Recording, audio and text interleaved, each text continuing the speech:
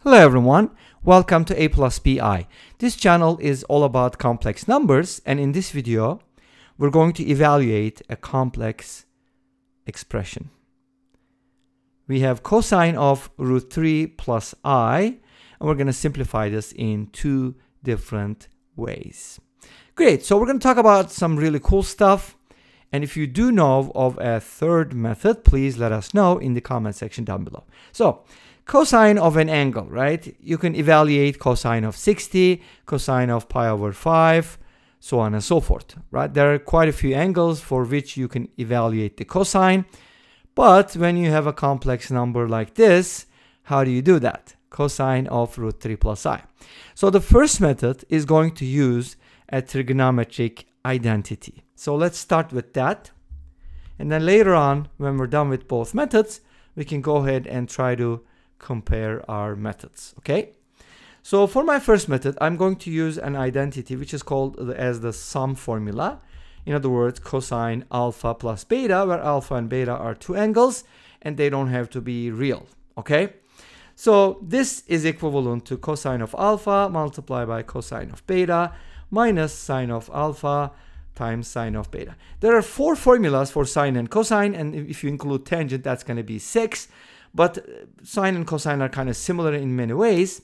And there are differences, of course. So what are the, uh, the traits of a cosine equation in this case? That will be the opposite sign. So if you have a plus sign, if you have a sum, it's going to turn into a difference. That's characteristic about cosine. With sine, it's going to be the opposite or the same sign. With cosine, there's another thing that it's kind of like acts homogeneously. In other words, it kind of brings the cosines together and the sines together. Sine will do it heterogeneously. That, those are some of the things that I think about when I'm thinking these problems or identities, and that's how I memorize them. And every time I teach these topics or concepts, uh, I, I like to mention this because this kind of makes it a little easier in my opinion. Obviously, there are proofs for these formulas. We're not going to get into those. That's a different topic.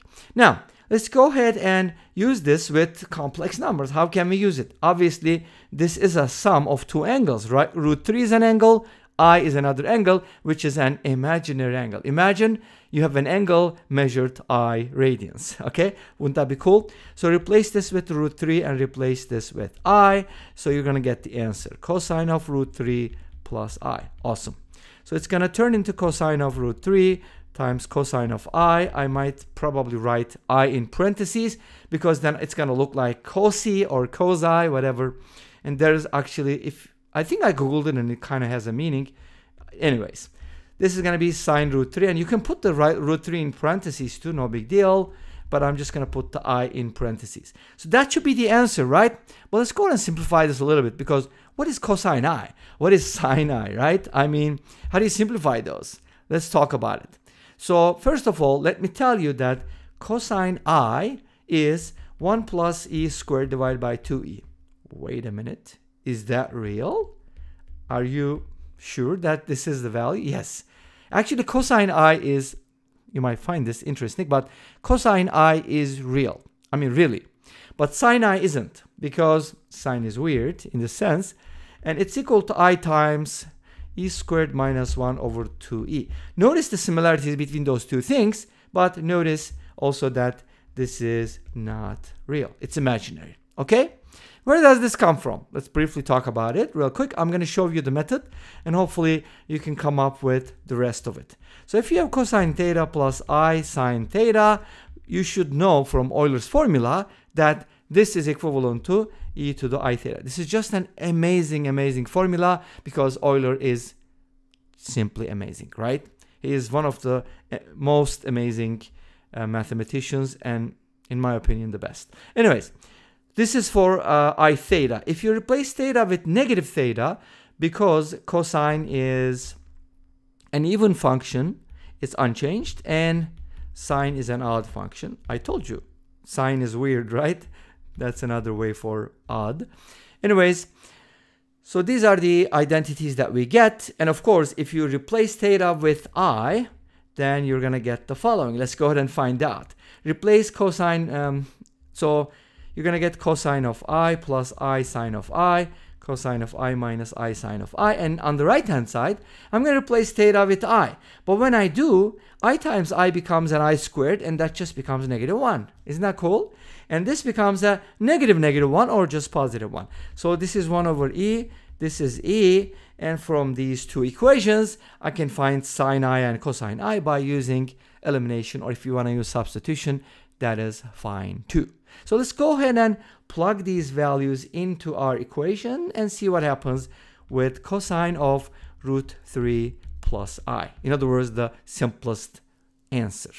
So cosine of root 3 is just going to be that, and then cosine of root 3. But I want to write the uh, sine i first, and sine i is just going to be 1, I'm sorry, cosine i first, 1 plus i squared over 2e multiplied by cosine root 3 minus i times e squared minus 1 over 2e times sine of root 3. Awesome. Now, where does this come from? You have an i, and sine i brings another i, which becomes i squared, and that brings you the minus sign right here. Make sense? That's where the minus sign comes from. But this should be the answer in the simplest form. Great. Let's go ahead and take a look at the second method real quick, and we kind of need to compare our answers. All right. So for the second method, I'm going to use an identity that comes from these two equations before I replace the theta with i. Cosine theta can be written as e to the i theta plus e to the negative i theta divided by 2. You should definitely know these identities if you're doing trigonometry and complex numbers, or if you're doing anything else, you should do fine. I mean, you should memorize these formulas because they're fun. Think about it. Like if this problem came up on a test and you only had a minute and a half, you could just directly plug it in, right? So let's go ahead and do that. Replace theta with root 3 plus i. And the advantage of the second method is you're not you're not using anything for sine, you're only using the formula for cosine. So only one formula is needed. e to the power i times root 3 plus i. Remember, this is our angle. This time, I'm treating it as a quantity not like the sum of two angles, but just a single quantity. And this sum is going to be divided by 2. Here's the interesting part. How does this turn into something like this, right? Isn't that weird? Well, not really, because if you distribute first, you're going to get e to the power i root 3 plus i squared, and this is going to be e to the power negative i root 3 minus i squared. But notice that i squared is negative 1, so it's going to be e to the power i root 3 minus 1 plus e to the power negative i root 3 minus minus 1 or plus 1. And then because of the exponent rules, you can go ahead and split this up into e to the i root 3 divided by e plus e to the power negative i root 3 times e, and all of that is divided by 2. By the way, I forgot to write the 2 here, and there you go. Now, here comes Euler's formula one more time. What is e to the power i root 3? It is cosine of theta. Remember that's root 3 plus i sine root 3. And then for the negative one, it's just going to be plus minus. So let me put the plus minus there so you can kind of figure it out. And if you plug it into this equation, you're going to get the exact same result. And there's actually something called hyperbolic functions. Have you heard about it? And it's basically going to be the same thing, or is it? Anyways, this brings us to the end of this video. Thanks for watching. I hope you enjoyed it. Please let me know. Don't forget to comment, like, and subscribe. I'll see you next time with another video. Until then, be safe, take care, and bye-bye.